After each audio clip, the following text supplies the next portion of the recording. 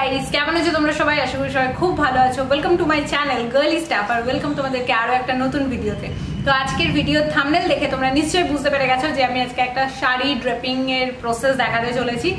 এই যে তোমরা স্ক্রিনে ফটোটা দেখতে পাচ্ছ প্লাস আমি দেখো এখানে পড়ে রয়েছি, এই শাড়িটা তোমরা কীভাবে ড্রেপ করবে, এটা তোমরা অনেকেই আমার ব্লগ চ্যানেলে জিজ্ঞাসা করেছিলে, যেটা আমি সরস্বতী পুজোর সময় পড়েছিলাম তো অনেক লেটে আমি ভিডিওটা দিচ্ছি বাট ফাইনালি দিচ্ছি। এটা ভীষণ ইজি একটা ড্রেপিং স্টাইল যেটা কিনা যে কেউ করতে পারবে।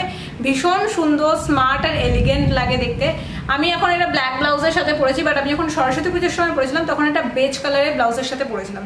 ওকে তো শাড়ি ড্রেপিং এর প্রসেস দেখানোর আগে কিছু প্র্যাকটিক্যাল জিনিস তোমাদের সাথে আমি ডিসকাস করে নিতে চাই। সেটা হচ্ছে এই শাড়ি যখনই পরবে মানে এইরকম ড্রেপিং যখনই তোমরা করবে ব্লাউজ চেষ্টা করবে টপ স্টাইল হওয়ার। তাতে কি দেখতে পাচ্ছ, শাড়িটা আমি সামনে থেকে এভাবে নেওয়া। তো শাড়ির তো ব্লাউজের সামনে যদি হুক থাকে, তুমি যদি এইভাবে স্টাইলটা করো, তাহলে কিন্তু সেটা একেবারেই দেখতে ভালো লাগবে না। এটা কিন্তু একদম প্র্যাকটিক্যাল জিনিস তোমাকে বলছি। তো সবসময় চেষ্টা করবে যে সমস্ত ব্লাউজের সামনে হুক নেই বা টপ স্টাইলে সেগুলো এই শাড়ির সাথে পেয়ার করার চেষ্টা করবে, তাতে দেখতে ভালো লাগবে। প্লাস যে সমস্ত ব্লাউজের লেন্থগুলো এই কোমরের দিক থেকে একটু বেশি থাকবে, সেগুলো কিন্তু এই শাড়ির সাথে ভীষণ ভালোভাবে যাবে। যদি নর্মাল যেরকম ব্লাউজের লেন্থ হয়, এইরকম ছোট, ওগুলো কিন্তু এতটাও ভালো লাগে না এই শাড়ির স্টাইলের সাথে। মেঘ ডাকছে, আমি জানি না তোমরা আওয়াজ শুনতে পাচ্ছ কিনা, এখানে বিশাল জোরে জোরে মেঘ ডাকছে, আমার মনে হয় তো এটা ভয়েসও আসছে। সেকেন্ড জিনিস হচ্ছে, যে কোনো শাড়ি নিয়েই তোমরা কিন্তু এই স্টাইলটা করে নিতে পারো বাট যে সমস্ত শাড়ির আঁচলে এরকম টাসেল, যেরকম আমার শাড়িটাতে এখানে পম পম লাগানো রয়েছে, কোনো কোনো শাড়িতে সুতোর কিছু কাজ করা থাকে, কোনো কোনো শাড়িতে টাসেল লাগানো থাকে, সেই সমস্ত শাড়ির সাথে যদি তোমরা এই ড্রেপিংটা করো, সেটা কিন্তু আরও সুন্দর দেখতে লাগবে। কারণ সাইডটা যদি এরকম প্লেন হয় না, ধরো আমি এটাকে ঢেকে দিলাম তো দেখতে এখন কীরকম লাগছে দেখো, আর যখন সাইডে এরকম পম পম বা টাসেল থাকবে, তখন এটাকে দেখতে কীরকম লাগছে, তোমরা সেটা নিজেরাই বুঝতে পারছ। তো এটা যে কোনো শাড়ির সাথে করা যায়, এরকম না যে পম পম না থাকলে সেই শাড়ির সাথে এই স্টাইলটা করা যাবে না, করা যাবে ডেফিনেটলি বাট এরকম থাকলে কিন্তু বেশি সুন্দর লাগে দেখতে। তো চলো এবার তোমাদেরকে প্রসেসটা দেখিনি ভীষণ ইজি যে কেউ করতে পারবে, এতে কোনো ডাউট নেই। তো চলো দেখানো যাক যে এই শাড়ির ড্রেপিংটা তুমি কীভাবে করবে। তো প্রথমে আমরা শুরু করব শাড়ি টাকিন দিয়ে। টাকিন ইজ ভেরি ইম্পর্টেন্ট কারণ টাকিনের জন্য কিন্তু অনেক সময় না কোমরটা মোটা মোটা লাগে, পেটের কাছটা ফোলা ফোলা লাগে। তো ভীষণই নিটলি আমরা কিন্তু টাকিনটা করব যাতে কাপড়টা কিন্তু কোমরের কাছটা মানে গুটিয়ে না থাকে। খুব ভালো করে পরিষ্কার করে যেভাবে আমি এখানে দেখাচ্ছি, সেইভাবে টেনে টেনে ভেতরটা যাতে একদম গুটিয়ে না থাকে, এইভাবে টাকিন করে নিতে হবে।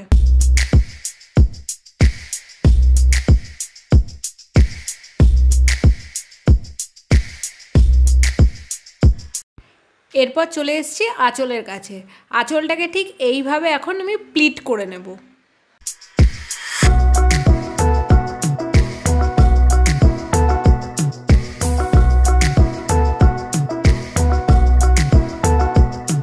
এবার একটা সেফটি পিনের সাহায্যে এই প্লিটসগুলোকে আমি সিকিওর করে নেব।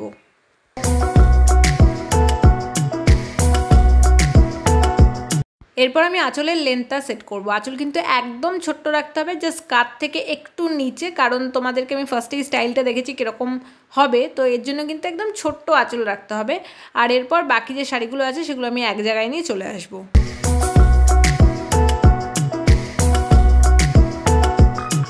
এরপর আমি এখানে প্লিটিং করা স্টার্ট করব। প্রথম যে প্লিটটা করব, সেটা কিন্তু একটু বড় করব। সেকেন্ড প্লিটটা একটু ছোট করব। ইভেন সেকেন্ড থেকে যতগুলো প্লিট হবে, সেগুলো কিন্তু প্রথম প্লিটটার থেকে একটু ছোটই করব।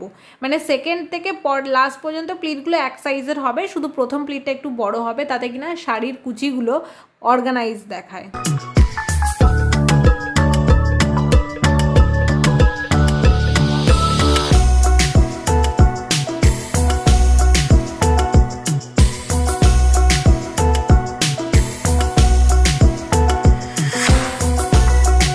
আঁচলটা দেখো যেটা সিকিওর করে রেখেছিলাম সেফটি পিন দিয়ে। এবার সেই সেফটি পিনটা আমি খুলে নেব।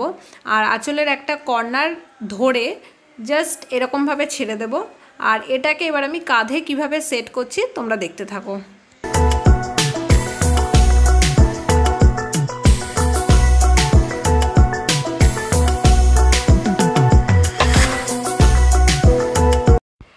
সেট হয়ে গেলে সেফটি পিনের সাহায্যে ব্লাউজের সাথে আঁচলটা কিন্তু সিকিওর করে নেব।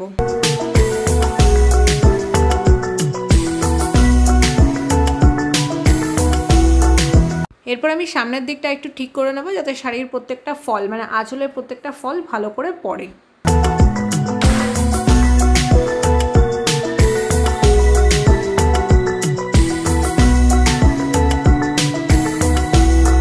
শাড়িটা পরার পর ফাইনালি লুকটা এরকম আসে, যেটা কিনা আমার ভীষণ ভালো লাগে, ভীষণ স্মার্ট সুন্দর এলিগেন্ট মানে খুবই ভালো লাগে এটা পরার পর।